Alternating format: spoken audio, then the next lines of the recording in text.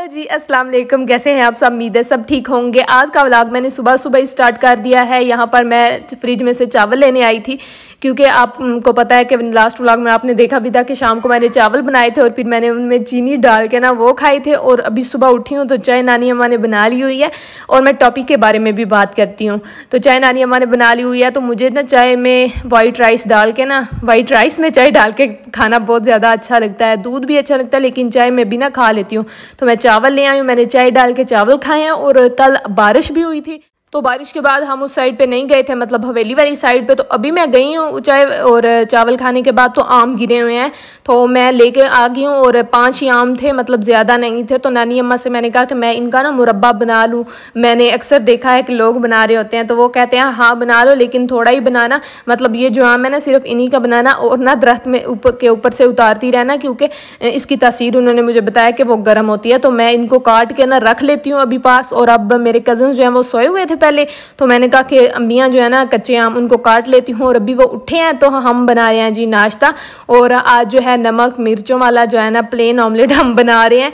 क्योंकि अगर मैं उसमें टमाटर, प्याज डाल दूँगी तो मेरे कज़न्स जो हैं वो नहीं खाएँगे, छोटे कज़न्स हैं, अभी हाला नहीं आए हुए हैं। तो वो ही आए हैं, जैसे ही छुट्टियाँ हुई हैं तो नानी अम्मा गए तो नानी अम्मा के साथ वो आए हैं।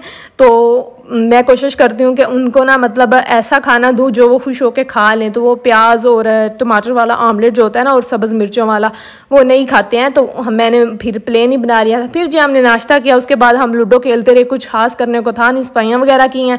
फिर उनके साथ लूडो खेलती रही हूँ। और अब आ चुकी हूँ किचन में और बना रही हूँ यहाँ पर खाना और आपसे कुछ बातें भी करनी है। तो अगर अभी तक आपने मेरी वीडियो को लाइक नहीं किया तो वीडियो को प्लीज़ लाइक कर दें और चैनल को सब्सक्राइब नहीं किया हुआ तो चैनल को जल्दी से सब्सक्राइब करके बेल बटन प्रेस करके ऑल पर क्लिक कर दें, ताकि आपको मेरी हर वीडियो का नोटिफिकेशन मिल जाए। और आज मैं आपसे बात करूँगी कि हमें अपने बुज़ुर्गों के पास क्यों बैठना चाहिए? मतलब ये जो हमारे बुज़ुर्ग होते हैं ना, ये इतने लॉयल इतने सिंसेयर और इतने साफ़ दिल होते हैं ना, कि ये जैसी बातें बताते हैं, ऐसी बातें तो दुनिया का कोई और मतलब बंदा बता ही नहीं सकता। मैंने किसी जगह पढ़ा था कि आपका वालद वो वाहिद शख्स होता है जो अपनी औलाद को ना अपने से ज़्यादा कामयाब देखना चाहता है अपने से ज़्यादा ऊपर देखना चाहता है। दुनिया का कोई और बंदा जो है ना वो आप वो, वो उसका यही दिल करता है कि मेरी औलाद सबसे ऊपर हो मेरी औलाद से बाकी सब नीचे नीचे हो। मतलब वालदेन जो होते हैं ना उनके मतलब वो वही इंसान बंदे अपने बच्चे को सक्सेसफुल देखना चाहते हैं। तो मेरी नानी अम्मा ने भी मुझमें मतलब मुझमें ऐसी क्वालिटीज़ नहीं थी जो मेरी नानी अम्मा ने मुझमें क्वालिटीज़ बिल्ड की हैं। मतलब उन्होंने मुझमें सेल्फ कॉन्फिडेंस पैदा किया है। उन्होंने मुझे मतलब मैं कुकिंग मुझे कुकिंग बिल्कुल नहीं आती थी जब मैं नानी अम्मा के पास आई थी। तो मुझे बिल्कुल कुकिंग मैं कहती हूँ, मैंने, मैं सिर्फ़ चाय बनाती थी और वाइट अंडा मुझे बनाना आता था, मैंने कभी कुकिंग की ही नहीं थी अम्मी के घर में। तो नानी अम्मा ने मुझे मतलब मैं उनको देखती थी कैसे बनाते हैं तो नानी अम्मा को पता चल गया था कि इसको शौक़ है तो नानी अम्मा ने ना एक दिन बिल्कुल ऐसे ही सब कुछ तैयार करके तो छोड़ दिया। वो कहते हैं कि ये लो बेटा, बनाओ। मैंने कहा, अगर मुझसे ख़राब हो गया तो फिर तो वो कहते हैं, कोई बात नहीं ख़राब हो गया। ज़ाहिर खाने के काबिल तो होगा ना, हम खा लेंगे। मिर्चें ज़्यादा हो जाएँगी, नमक कम हो जाएगा या नमक तेज़ हो जाएगा, कुछ ऐसा ही होगा ना तो हम खा लेंगे, हम एडजस्ट कर लेंगे, तुम बनाओ। तो मैंने बनाया तो नानी अम्मा को इतना अच्छा लगा। नानी अम्मा कहते हैं कि तुमने अच्छा खाना बनाया है। तो और भी ऐसी बहुत सारी बातें जो ना मुझे किसी ने आज तक नहीं बताई नानी अम्मा ने बताई हैं। मतलब उन्होंने मुझे मतलब हालात से मतलब गुज़र बसर करना सिखाया है कि, कि किस कंडीशन में कैसे सरवाइव करना है कैसे किस मामले को क्योंकि मुझे अक्सर कुछ भी फैमिली में होता है ना कोई भी मतलब छोटा मोटा भी प्रॉब्लम होता है तो मुझे इतना ज़्यादा डिप्रेशन में मैं चली जाती हूँ मुझे इतनी ज़्यादा टेंशन होती है मुझे सबकी इतनी फ़िक्र होने लग जाती है ना। तो नानी अम्मा ने मुझे बताया कि बजाय इससे परेशान हो तो आप नमाज़ पढ़ो अल्लाह ताला से दुआ करो तो सब ठीक हो जाता है। खैर, यहाँ पर मैं पुलाव बना रही थी, क्योंकि अभी दोपहर का टाइम था तो मेरे कज़न्स ने कहा कि आप ही आज चावल बनाते हैं। तो मैंने कहा चले ठीक है, चावल बना लेते हैं। तो यहाँ पर मैं पुलाव बना रही थी और ये देखे मसाले मैंने रख लिया नमक बिरयानी मसाला और थोड़ा सा चिकन पाउडर और थोड़ी सी सुरह मिर्च और पहले मैंने इसी तरह प्लेट में सारे मसाले जो हैं डाल लिए थे और वो यहाँ से ऊपर रखी थी तो नीचे गिर गई, ये सारे मसाले यहाँ पड़े हुए हैं अब। खैर, वो मैंने सोचा कि सफ़ाई जो है बाद में कर लेती हूँ, अभी खाना बना लूँ क्योंकि सब कुछ रेडी है, टमाटर भी मैंने कट कर लिए थे, गर्म मसाला भी पास रख लिया और चिकन भी। और चिकन थोड़ा सा डाल के ना ऐसे पुलाव लाइट सा ही बनाएँगे, ज़्यादा स्पाइसी नहीं बनाएँगे, क्योंकि गर्मी बहुत ज़्यादा होती है।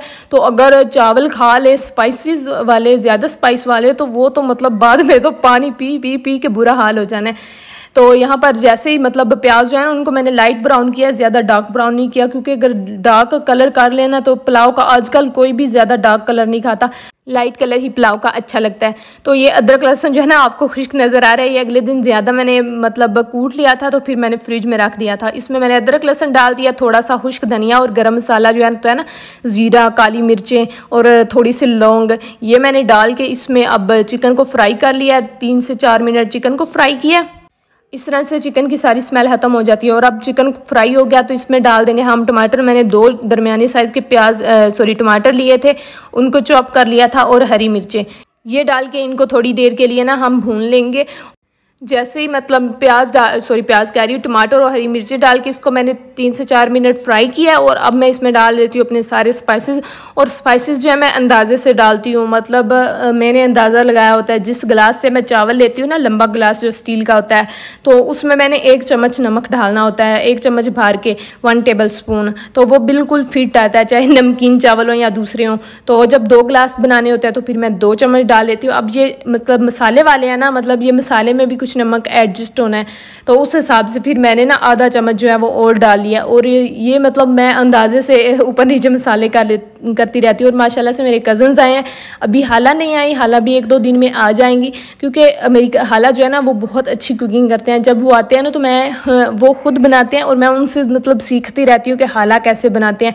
हाला मेरी बहुत अच्छा खाना बनाते हैं। ज़ाहिर है वो उनको मेरी नानी अम्मा ने सिखाया तो मेरी नानी अम्मा की कुकिंग तो मैं कहती हूँ दुनिया की सबसे अच्छी कुकिंग है, इतना मतलब वो कुछ भी बनाते हैं, इतना लजीज होता है ना तो मतलब वो मुझे यही कहते हैं कि बंदा खाने में टेस्ट खुद डिवेल्प करता है, खुद क्रिएट करता है तो इसलिए। तो यहाँ पर मैंने अच्छे तरीके से मसाले की बुनाई की है। अब इसमें मैं ना पानी थोड़ा डाल के ना थोड़ा थोड़ा पानी डाल के इसकी भुनाई कर लूँगी ताकि जो है ना मतलब ये नीचे भी ना लगे और ये देखें। और ऊपर से मैं कवर कर, करके ना पका रही हूँ ताकि चिकन जो है ना अंदर तक नरम हो जाए मतलब ज़रा भी सहत ना रहे। और ये देखें, टमाटर भी ऑलमोस्ट हमारे गल चुके हैं। अब मैं इतने जल्दी से चावल धो लिए हैं, अच्छी तरह से माल माल के, क्योंकि चावल चावल जो होते हैं ना, उनको नानी अम्मा कहते हैं, जब तक पानी वाइट नहीं होता, तब तक धोते रहते हैं। तो इसमें मैंने डाल दिया ये स्टील के तीन गिलास पानी डाल लिए। तो जो है ना मतलब दो गिलास चावल थे तो अभी मैंने तीन गिलास पानी डाला है तो नानी अम्मा कह रहे हैं कि आधा गिलास जो है वो और डाल लो, क्योंकि पुराने चावल है, पुराने चावल जो है वो ज़्यादा पानी लेते हैं। और अब मैं इसमें डाल देती हूँ जी लेमन। वैसे मैंने नहीं डालने थे, लेकिन पड़े हुए थे नानी अम्मा ने उस साइड पे गए थे तो वो लेके आए थे दो तीन लेमन ना। तो मैंने कहा कि इसमें डाल लेती हूँ, क्योंकि वरना मैं ज़्यादा इसको स्पाइसी और चटपटा नहीं बनाना चाह रही। मेरे कज़न्स छोटे हैं तो अगर ज़्यादा स्पाइसेस होंगे तो वो नहीं खा पाएँगे। तो मैं कहती हूँ कि वो पेट भर के खाएँ। ये ना हो कि भूखे रहें और आके अम्मी से कहें कि, बाजी, बहुत ज़्यादा स्पाइसी खाना बनाती है। हालाँकि इतना स्पाइसी नहीं बनाती मतलब ज़ाहिर मुझे भी पता है, मैंने खाना होता है, मेरी नानी अम्मा ने खाना होता है, हम इतना स्पाइसी नहीं बनाते। लेकिन फिर भी बच्चे तो मैं कहती हूँ कि वो ये ना करें। क्योंकि पिछली दफ़ा ऐसा ही हुआ था। मैंने कुछ खाना बनाया था।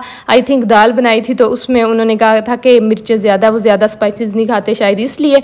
तो जैसे ही मतलब पानी बॉयल हो गया तो इसमें मैंने डाल दिए अब चावल। और नीचे से नानी अम्मा ने कहा कि चूल्हा जो है ना बिल्कुल स्लो कर दो तो फिर जो पुराने चावल हैं ना, वो अच्छी तरह से खिड़ते हैं। और नानी अम्मा जो होते हैं ना मतलब खिल के पकते हैं। नानी अम्मा मुझे मतलब ऐसी मतलब बहुत ज़्यादा मतलब गाइड करती हैं ना, हर बारे में मुझे बताती रहती हैं।